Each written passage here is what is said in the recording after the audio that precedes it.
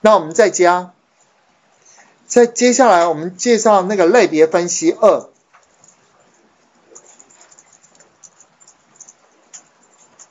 请问一下，刚刚是不是有看到有看到一种形式的资料，它是用圆形图来去呈现类别的关系？那除了类别，我们在这边我们还有一种，还有一种叫做树形图。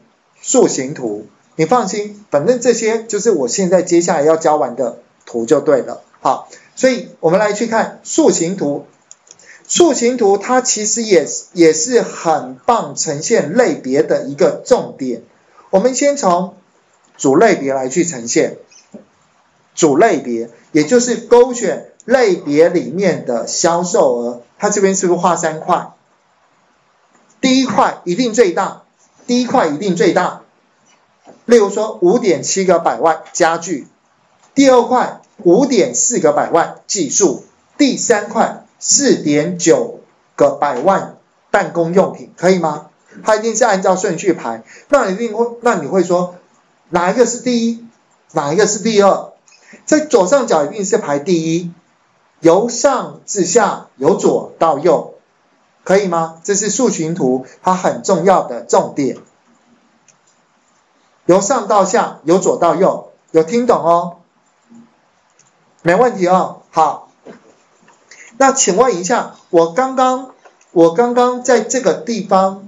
我是不是也可以把子类别放到这个群组的类别的下面，对吧？是不是跟刚刚做那个圆形图是一样的概念？所以我现在呢，把这个子类别放到类别的下面，然后接下来我们就直接点这个图，你是不是可以看到往下继续展？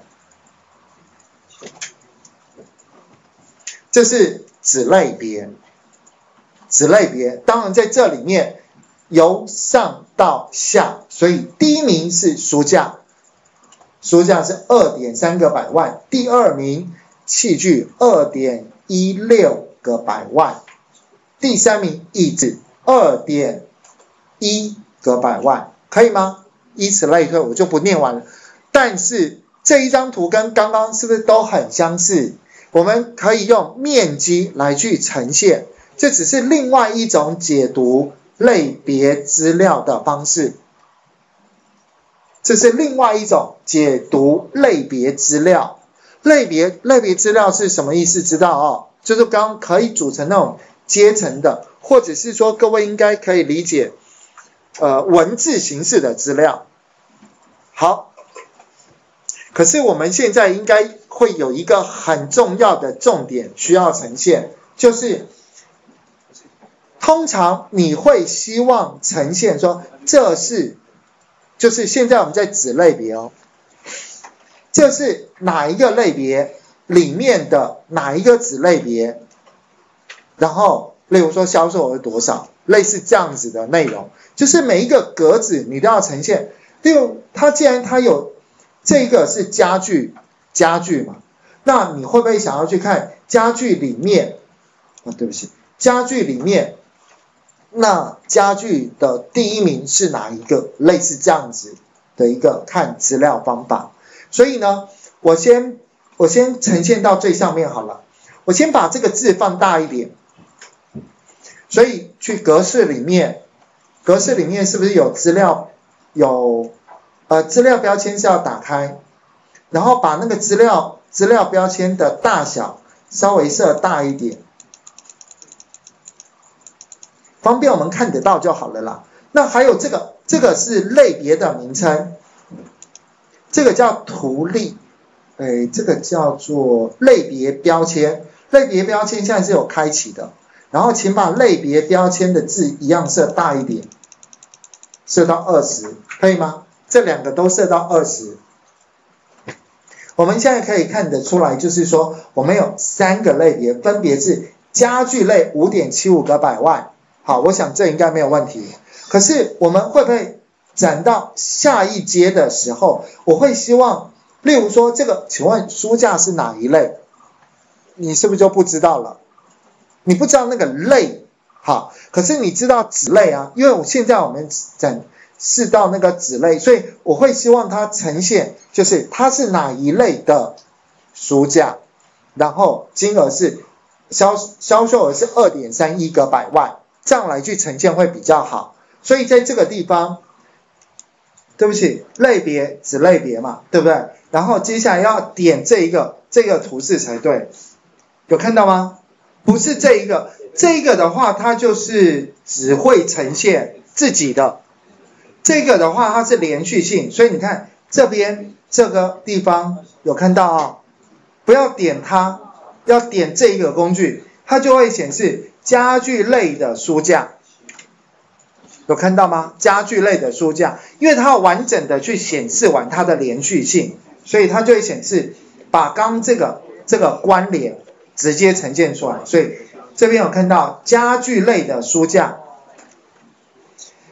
第一，然后办公用品的器具，第二，听得懂我现在说的这个意思哦？好，记住就是这边这边只是只是这两个工具使用的差别而已，类别工具类别工具，可能自己回去再思考一下，因为我你看我现在我也会忘记，记住哦，这个。两个图是差在什么地方？它在这条横线，它在这条横线。这个横线是什么意思？比如说，二零一三年的第一季，二零一三年第二季，二零一三年第三季，二零一三年第四季，接下来是二零一四年第一季，以此类推。这样等于是说一个从头到尾连续性的呈现。不中断任何内容，可是这个这个是有断开来的。所谓断开，就是说第一季完毕之后，第二季，第二季完毕之后，第三季，它其实那个第一季是包含好多好多年的资料，可以了解这之间两个的差别。所以我现在是不是要呈现那个什么类的什么子类？这个时候要用这个工具，这是另外一种类别分析，就介绍到这个地方。那我们接下来做啊，那请问你这张图你要怎么报告？这张图你只要报告最左边的这三名，就是说我们公司的主要的产品是以那个家具类的纸呃家具类的书架、办公用品类的器具以及家具类的椅子为。最主要的项目，其中家具家具类出现了两个子类别，可以吗？这样子来去报告这件事情，这是这就是树形图，树形图，我们一定要讲最左边的。那至于这些这些的感觉，就像其他，其他懂哦？就是我们在很多很多资料里面，可能就是很多那种是小小的数值，所以我们全部把它加起来是其他。但其他其他的部分项目可能会非常多。如果我们今天有生产一百项、一百个子类别，这个时候这个。子类呃这些其他的部分哦，应该不要超过这边所有的百分之二十，可是它所涵盖的项目可能五十项都有可能，可以吗？这代表什么意思呢？好，就是如果说今天有很多种公司的形态，或者是我们看到很多个月，呃，例如说一月它长这样子，二月它长另外，或者是。呃，大家都是平均，哎，这个时候我们就来去看一下，哎，那为什么上个月它会有那个主力的产品，这个月它变成都平均，这都是值得我们来去观察的重点。好，这是类别分析，透过树形图做的类别分析。